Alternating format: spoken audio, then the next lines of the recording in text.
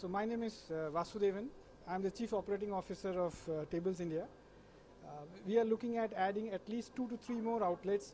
In fact, uh, the East Coast Road outlet is something that we are looking at operationalizing by March. Uh, we have big plans for expansion across all our brands of Tablez in India. Cold Stone figures amongst that as one of our best brands. What is Tablers and what is Cold Stone? So uh, Tablez is uh, the holding company which has got all the rights for all the brands operations in India. Cold Stone is one of the brands that we have brought in from uh, US. Uh, it's a globally well-known ice cream brand. Uh, we are planning the pan-India expansion for that in it.